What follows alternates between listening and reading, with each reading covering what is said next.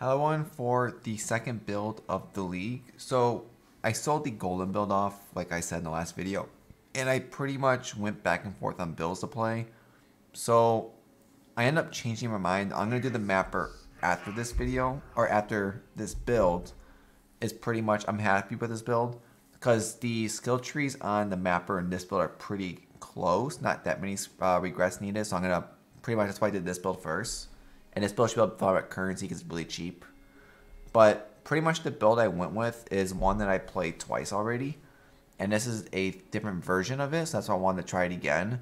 Which is the Hex Blast Ignite build with uh, Black Flame. This build I do like a lot. It's very strong, tanky.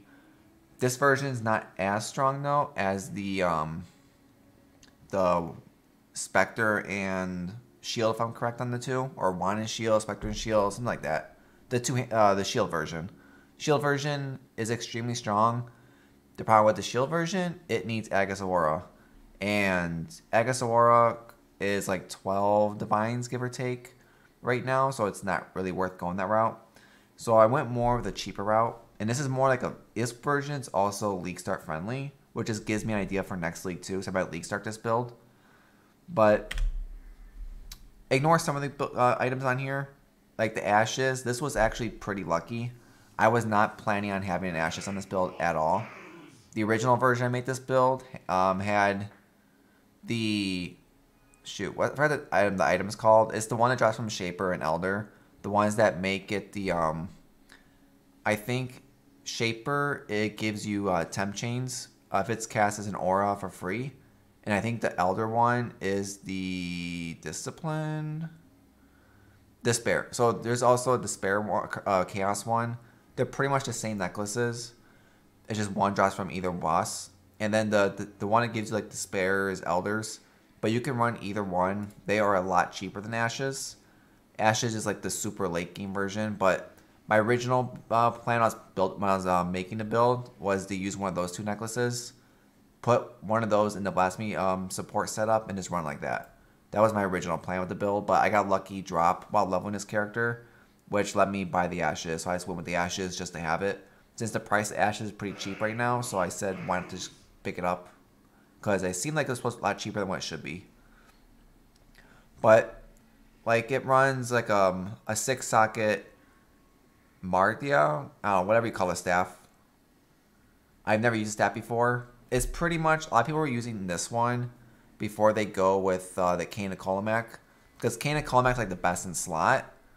But to get the correct Cane on Kulemak is very, very expensive. For like the plus three support, fire dot, fire damage. It's pretty much one you're looking like like a, almost a couple weeks into the league before it come even up for sale. But pretty much the staff gives you a nice amount of block, gives you battle mage, gives you a, a lot of damage. I think yeah, it gives you like 600. This one gives you, so it gives you between 573 and 651 um, DPS. Because the Battle Mage, combines Fizz and um, Elemental together. So it's pretty nice overall. You know, a big chunk of block, which is nice. So it's not bad overall. And then in the staff, I just have uh, cast damage taken, Molten Shell. And then the four link I have here, you can put this anywhere to be honest. I just threw it here because this is the way the colors rolled on socket wise. But it's pretty much just multi-totem, wither, spell totem. If you have a four socket, you can add faster casting. You don't need the faster casting at all. If you only have a three link, just go with that instead and put this as a faster casting if you can get it. Um, helm. So you don't need this helmet. I just personally like this helmet, mainly just for having hexproof or take no extra damage from crit strikes, just as an extra defense layer. You don't need this at all. I think this one's better if you're not doing Black Flame. If you're just doing this the Templar version with Battle Mage, with the um, the one I played back in Ritual, they had like a crazy amount of block defense with uh, Skin of Lords and stuff like that. Like that version doesn't need Black Flame because you're a pure fire. But the Witch version, Black Flame's a little bit better. So this is just a personal thing. You don't need this. Run a regular helmet if you want. If you run a regular helmet, it'll make your um, gain your attributes and resistance a whole lot easier because with this helmet, you struggle on getting res and stats pretty well. But this is just a personal preference of mine. And in here, I just have Divergent Malevolence just for the um, damage over time. Super cheap. You know, I have an Enlighten here. You don't need the Enlighten. Like, even without the Enlighten, you still have 39 mana. It's not enough to cast your Hexblast, though, so you're going to have to drop an Aura. Most likely, if you're going to drop an Aura, you're probably going to drop Defiance Banner. Or just play it based on what you think. But um, Defiance Banner and a Determination. Just for more armor. Because defense is what this build's all about, pretty much. You know, Ashes, if you can afford it. If you can't, go with one of the other two I said. If you don't, before you get one of those two, just use a regular uh, necklace. Plus one if you can. Like plus one chaos, plus one spell. Or I think the spell one, maybe? I don't remember anymore. Plus one intelligence, stuff like that. Ashes, I just like this one because it makes your, um, with Charisma just to give you more mana reservation and buff all the quality of alternate quality gems. Like giving plus 23 to this one. Uh, like all your alternate ones are the main ones that are going to benefit the most from it. Anything that's not alternate is going to be like maybe benefit a little bit, but it's not going to be like, you're not going to notice the most. Like I should probably end up switching my Despair and Temp Chains to, um, uh, what do call it? To alternate quality. I just wasn't planning on having ashes. So that's why they're not really there. Uh, Black Flame, it's pretty much the same as the last one. You're converting all your um, Ignite to Chaos. So enemies ignited by you, um, you take Chaos damage instead of Fire. It just Chaos damage is nice. It makes a lot of the fights a lot easier. You don't have to worry about the energy shield. Uh, six Link, I don't know what the best Six Link is for this build. I originally was going to do Skin of Lore like I did last time, but that cost like almost three divines for the colors on it, so I said screw that. And I just went with a random six link. This one wasn't bad on the mark. I bought this for like one divine. You know, six linked already, had 108 life on it, uh, double T1 res with the crafted life percentage on there. It's pretty good for one divine. I just gotta roll the um, the um, Exarch and Eater stuff to make them actually better for the build. I don't know exactly which ones I want to go with yet. I gotta look into it more, but it's not bad for at least a starting uh, spot. It's pretty much Divergent Hex Blast, uh, Unbound, pretty much the same setup everyone uses. Burning Damage, Swift Affliction, Ignite Proliferation, and Deadly Elements. Eventually, you know, go for like Awakens of these gems. Go for like a 2120 Ignite Proliferation when you get the currency, which I'll probably go for later. Uh, a random blue ring. This is not the ring I plan to use. I'm gonna use the um the percent life ring. I forget what it's called. Like get that with like a T1 life roll on it, and then uh, I'm gonna craft fire res on it just because I don't have any fire res on this build. I'm short fire res, so that's why I'm gonna use the um that ring to place this. But that ring's level 80, so I need nine more levels. So this is just a placeholder to have something. Um, I never used these gloves before, but I saw a lot of people using these as a League Start version because they are very cheap and they're very easy to get. So Vixen gloves are really nice with this build if you want to go budget because it gives you um, pretty much the biggest reason people use this is for the um, you can apply additional curse. So it lets you have three curses with the build instead of having to take like um, a hunter chest for curse or take uh, Whispers of Doom side, like all that kind of stuff. Like if you don't want to use this, you can always use the um intuitive or no, the jewel that drops from Maven lets you jump stuff. You know, get the CI one, take Whispers to do them that way too is an option. But this is just a super cheap version. Like one yeah, well yeah, like two chaos, you know, it works. Pretty much it also triggers socketed curse spells when you use a, uh, another curse. So what's nice about the gloves is like you have your normal one curse, your uh, gloves give you curse number two, and your um, ascendancy gives you curse number three. So you get three curses that way. So pretty much like whatever curse is on your um, blasphemy support, that's your first curse. And then whatever curse you're casting to um, start your big doom uh, blast, that will trigger the curse on the glove to also apply more damage. So, and um, mainly this gives you more uh, minus on them, like minus 28 chaos res, so you can just hit them really hard. But the gloves, it's pretty much throw in whatever you want in the gloves and the boots. They're pretty much like mine. I just do whatever slot popped up. like I have a despair here. Like I have make sure you have one curse. I have a flame dash here. You can run flame dash with second wind if you want. It's just optional to you. I have a portal and cast on death portal set up just in case. Just because I had two open slots, nothing to do with it. And then on the um, the boots, they're pretty much just life, um, life, movement speed, resistance, and dex because I was really dex starved. I bought the wrong base, so I had to recolor them the funny way. Uh, but pretty much the boots, it's increased area effect, blasphemy with your temp chains, and then just a punishment you're casting to trigger the other curse. You can flip them, doesn't make a difference which order your curses are in. Just do it based on your colors, your amulet, all that kind of stuff. And then I just have a Stygian Vice here with just life resistance. And then this little jewel here is pretty much just uh, more strength, more dex, and life. That's pretty much what it is. Are garbage. Pretty much like the enduring uh, mana flask, one I recommend. You know, get like a, a granite flask, get a quicksilver, some life, I'll probably end up making all these the um, gain charges when you block because you're max block with this build. So that's probably the best way I want to go with them. And just let them uh, refill. Get maybe get Rumi's in here too to help with the spell block because spell block's the hardest with with this build. Um, trying to think what else. I think that's the main part. I've done this build a bunch of times. So you want to see like other videos of it? Look my POB or look at my uh, past videos. But pretty much the build is, you know, you have your temp chains on your aura, run around it's probably easier to show on a map. How the build works.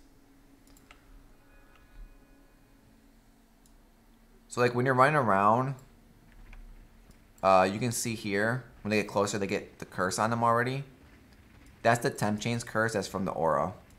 So the way Hex Blast works, without that aura on them, you can't cast Hex Blast. So when, when the aura's on, cast Hex Blast, it just one-shots everything when if you get like a boss, the boss is the only reason you're using your punishment. I uh, use my punishment. If there's no boss, you don't need to use punishment. Like if I can use punishment, the circle will go off, and that means it's active, and then it does even more damage. And the profane bloom to start making everything pop.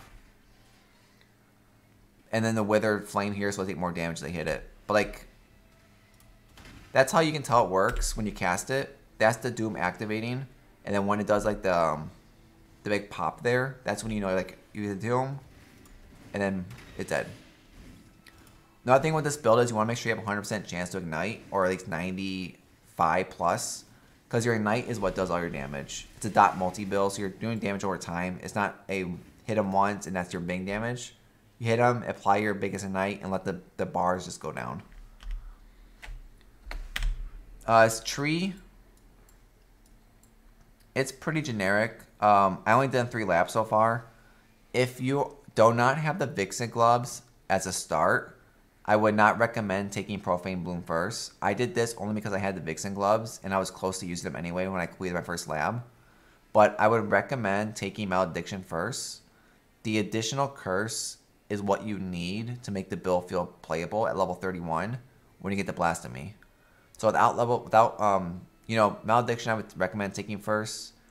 Then go your void beacon, your withering presence, and then your profane uh, bloom, because you don't really need the profane bloom early on at all. I just took it as a more fun thing to take, but this would have been much better overall to take first. These two are like your two and three always, because you don't need your chaos res until later anyway, and you don't get black flame until much later. If you're a league start, black flame is usually three to four divines anyway, so that's why you probably want to go one two, three, and four. But skill tree is pretty generic.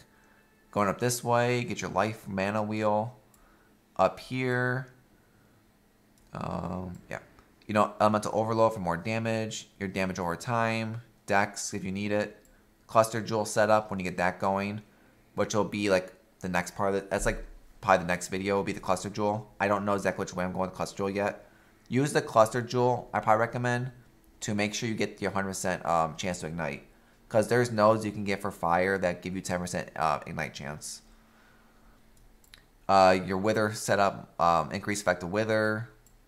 Your fire cluster give you 30% uh, chance to ignite. If you don't need the ignite chance, just take the uh, fire dot multi instead. But you most likely probably need the 30%. And then here, I just took recover 2% of life when you ignite a non-ignited enemy. You know, life.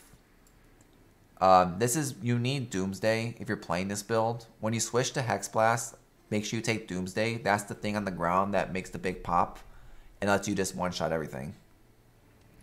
Uh, Intuitive Leap, this is expensive. This is probably one of the more expensive items on the build. When I bought it, it was like two divines. But it just saves you skill points. If you can't afford Intuitive Leap, just scale down this way and take the Skittering Runes yourself with three for two extra points. Because you want this because it gives you 10 more Doom, which is more damage. And like over here, I just have some more mana regeneration. Um, this is pretty much just block. If you have a staff, take this. If you're not, if you're using a sword and shield or a, a shield, you don't need to take this point. Right here, it's just more block. Like even more mana if you want to take this route. Some more block down here if you need to. Which I gotta see which way I want to go for sure.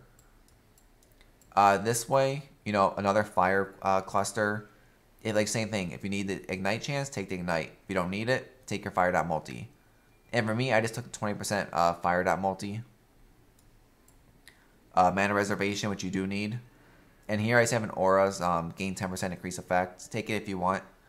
Life wheel, uh, vitality, which I actually can get rid of this one because I was using vitality before, but I since I dropped I might put vitality back on the build. The problem is, I don't know where I'm gonna put it.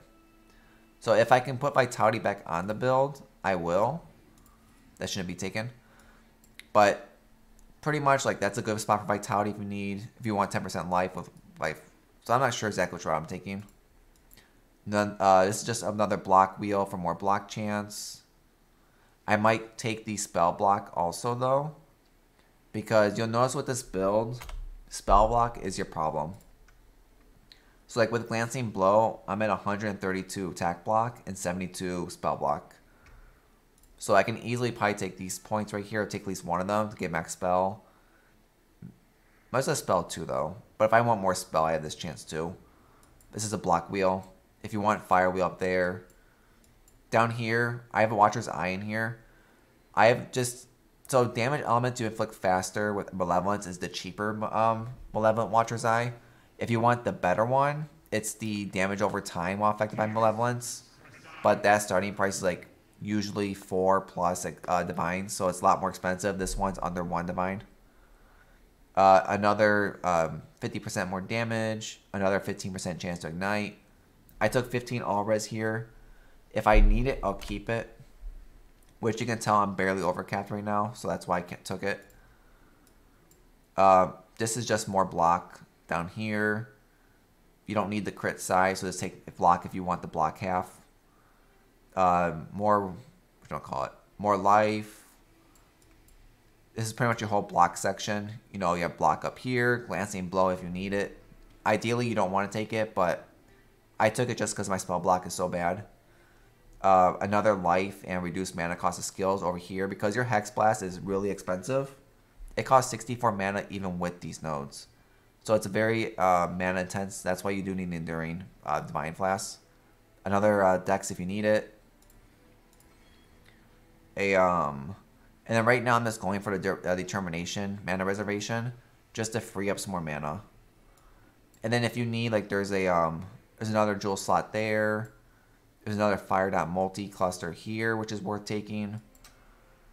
And that's pretty much the base of the tree. What I plan to do now, I'm most likely going to do, is I'll probably finish up, get here, determination. I might go here to get these real fast. I could even spec up this way for another 10% chance to ignite, which is not bad to have. And a nice resistant node, because with this resistant node, I can probably drop this point here and take away that 15 all res because this pretty much does it for me. You know, if I do that, drop that point, go this way, get the, the nice life chunk here for the 20% life down here. Got some nice armor, some nice strength you need, regen life, all good. I'll be a cluster there. Cluster jewel setup. Like it depends. I gotta see where the build's gonna go. I've never played the staff version before. This is brand new to me. And the Vixen gloves. I always play this with Aegis Aurora taking um what you want to call it the um the timeless jewel here to convert this to uh, divine flesh, so you get uh, like a hybrid ES life uh, build, which is really nice playstyle. It's just super super expensive if you're gonna go that route compared to this one. This is more just like the budget version. But you can see that mapping is super easy with the build.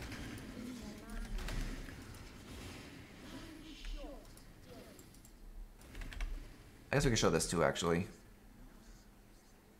You know, the, even though I don't have that much life in ES, you do have a lot of defense on the bill, so it does help make up for it a little bit. Like the only um, the only map mods you want to avoid is monsters take like percent less um, avoid elements. That's the one you do not want to run. You can run it. It's gonna make your life uh, not fun at all. And because you're playing a witch, you have the um uh well once you get profane bloom, you have the ability to uh, not worry about um hex or curses anymore. So that's a nice option. And that's it. Yeah. The nice thing, this build works really well for um. You can see like once you start going, you know, you put wither down if you want. Just run around and hit everything, and everything usually dies pretty quick.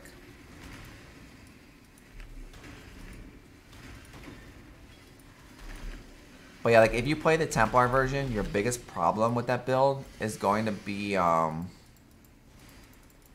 what you call it, um hex or hexproof.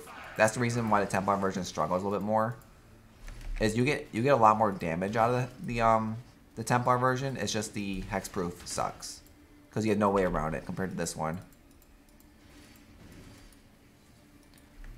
But you can see it very easy. I didn't have to really use the uh, punishment combo at all everything must just die right away.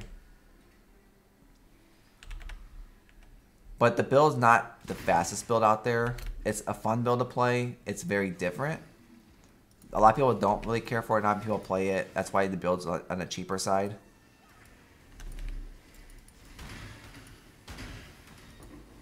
But you can play the build many different ways. There's Templars. You can play it. Templar has Battle Mage, so it's really nice. Uh, the witch has um, more curses, has um, get around hexproof enemies, which is probably the biggest thing. It's just personal preference. I just want to try something different outside my idea for next league because it's a third different way I'm playing the build. I did a Templar first, then I did the Witch Black Flame version with the sort of the same setup as Templar with defense wise. Worked very well. And then this is the now I'm just trying with the uh, staff version instead. Try something a little different. See how it works out. Um, I don't know. Sure. Still haven't ran a single tap. I barely seen running any tablets this league so far. But yeah, this is a um level 73, so like two levels higher, and it works obviously the building's improvements. You know, not even having the 3k life does not feel that good. That's why I want to get that like 20% life cluster and all that kind of stuff. Uh, oh yeah, bandits kill all. Um, POB description below. But yeah, like on the boss here, I'm going to put up my, there he is. So I'm to put my totems up. I'm to go like this, so it gets the wither, and then I'm to hit him once. It missed. That's you want 100% chance to ignite. Now he goes, and he's dead.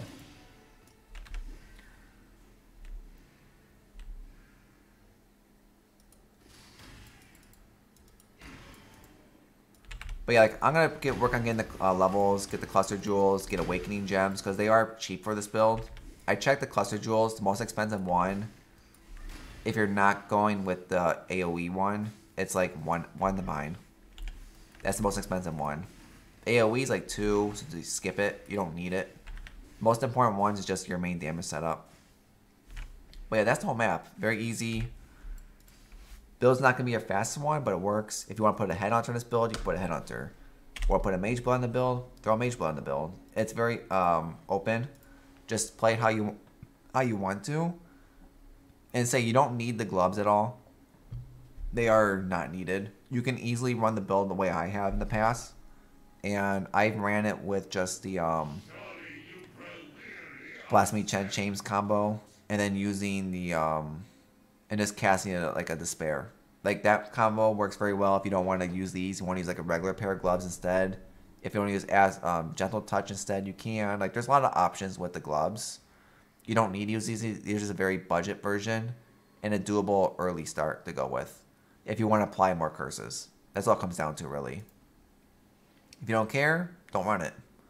And then it gives you an extra slot for resistance, which means if you're going to go Headhunter, if you are going to play Headhunter or Mage Blood, well, Mage Blood can get away with the flash setup with setup, but if you're doing a Headhunter version, I would not use these gloves.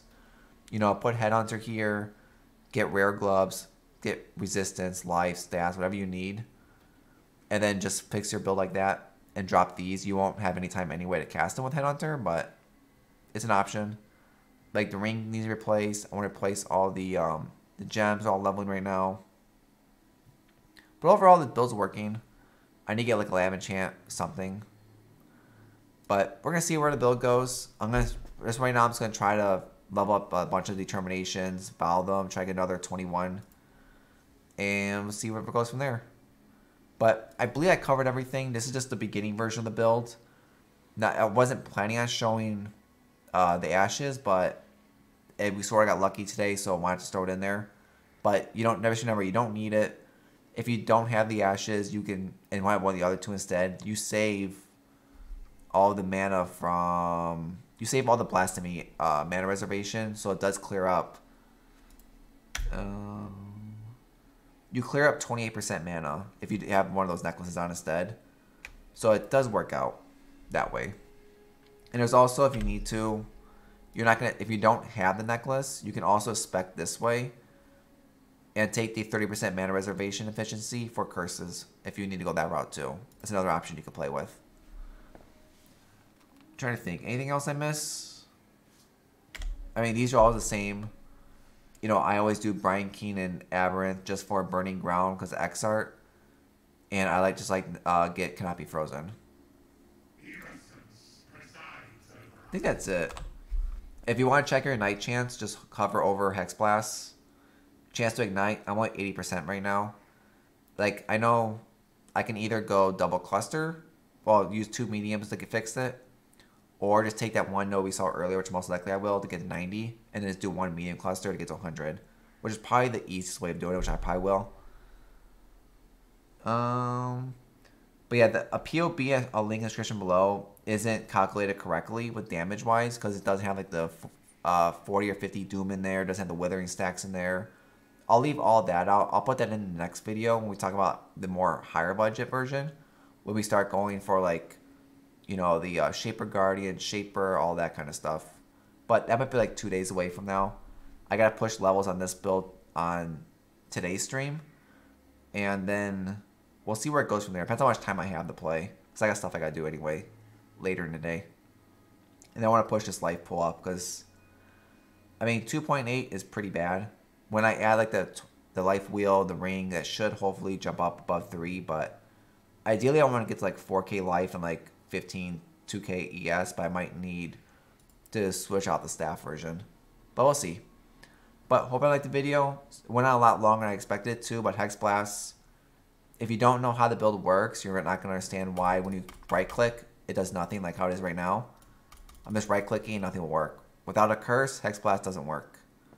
Which is one of the more trickier parts. You can still hit something that's um, immune to curse. You can still Hex Blast them, but you're not going to do a lot of damage. Most of your damage comes from your Ignite chance. But thank you. Hope everyone liked the video.